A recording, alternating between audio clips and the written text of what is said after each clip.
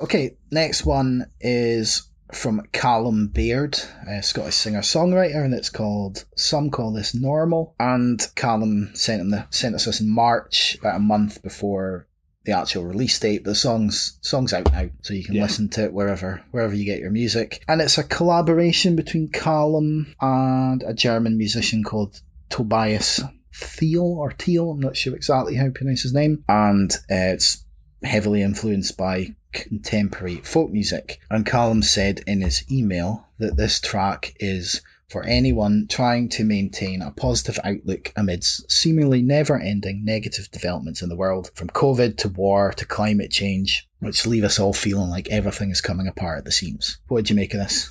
I quite enjoyed it. I would say that it kind of did. I never actually realised it was a collaboration between Calum Baird and the kind of German Yeah. uh, guy that you were kind of speaking about.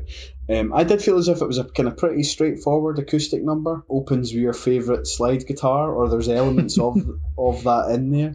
I think it, it immediately kind of put me in mind the likes of Gerry Cinnamon, but I think that's maybe just because of the kind of Scottish accent being accompanied with a kind of acoustic guitar.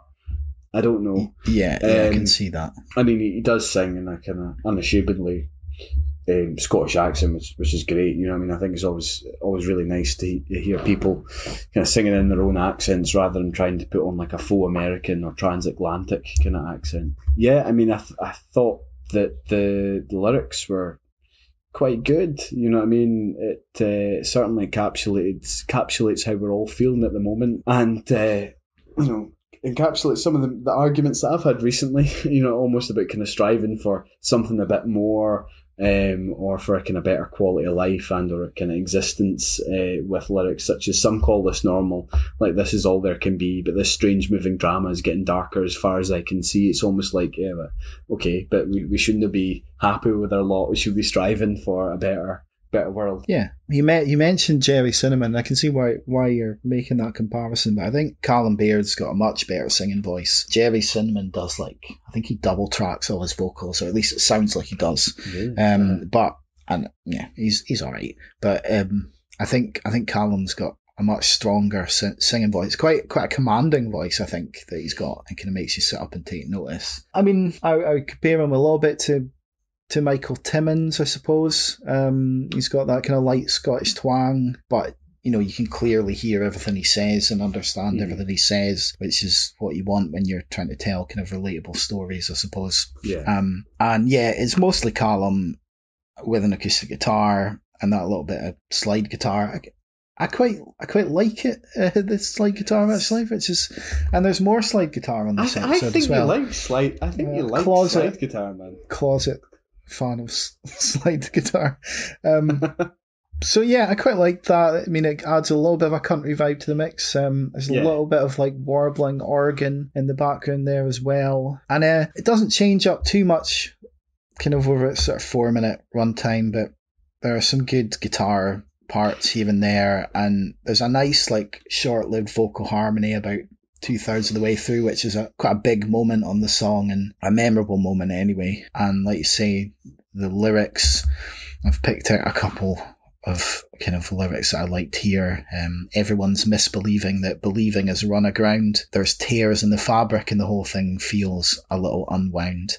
And later on the song, you know, I'm so sick of saying I feel so estranged, burnt out, and washed up. It all feels the same. There's there's quite a few things about this that I like. Yeah, I think it's worth noting as well that you know uh, just over four minutes it could potentially feel like quite a long song, but I, I didn't. Well, I don't get that impression listening to it at all. You know what I mean? It doesn't feel like four minutes, if that makes sense.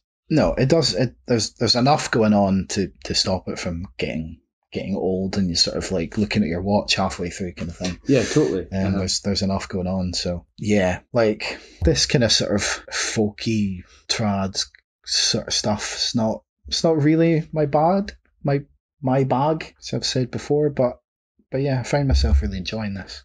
Mhm. It's interesting to see that he. Um, I think from what I read online as well, uh, he kind of draws his influences from the likes of Billy Bragg and stuff like that. I think he's actually playing at St Luke's in Glasgow tonight. As a matter Oh really? Nice. It's a pretty good venue. Pretty good That's, venue. uh, yeah, I've only been there once, but um, it's an, like an impressive venue, like Yeah. Definitely.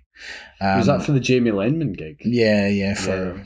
the Road to Lenmania, wasn't it? I think it was called. So yeah, I'd, I'd like to go back to St. Luke's. It's a cool venue. So I've I've given this an eight, an eight out of ten. I think that's fair to say, man. I've said I've said a se- seven or eight out of ten for me. Yeah. There's um a few more of his songs on on Spotify. I haven't listened through them all, but one one that I did listen to is called Für Ewig or Für Ewig. I Oh, don't yeah. I don't know how you pronounce that, and that's a really so is that a collaboration as well then? pass. I don't know. Probably Yeah. probably not because the collaboration that was specifically mentioned in the email for this release. Mm. So that's probably you know. I think it's just him and his acoustic guitar on that one actually. But that like if you like Calum's voice on this song, then for you I don't have no idea how to pronounce that. For Ewig, Ewig.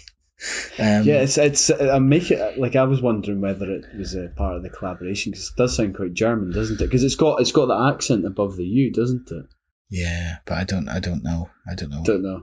Um, but yeah, like I said, that is that's a really really good song. So I'd recommend that to anyone. As, as I would this, as would this song too. Yeah, so that was um, some call this normal by Calum Baird.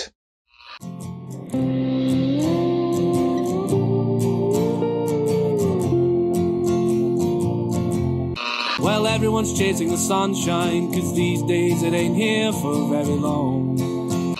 There's tears in the fabric, and the whole thing feels a little unwound. Some call this normal, like this is all that can be. You know, I'm so sick of saying I feel so estranged.